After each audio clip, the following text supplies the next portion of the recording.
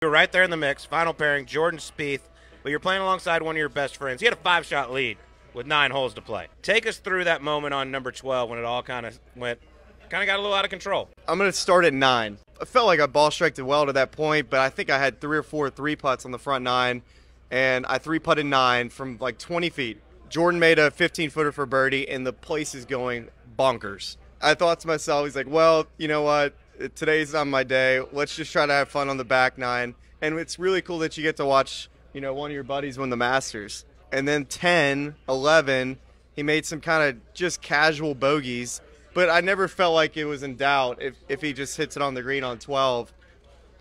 But man, he had a right miss going all day, and of course it came out at the worst time. And yeah, it was it wasn't fun to watch. You know, it's never never fun watching anybody go through something like that.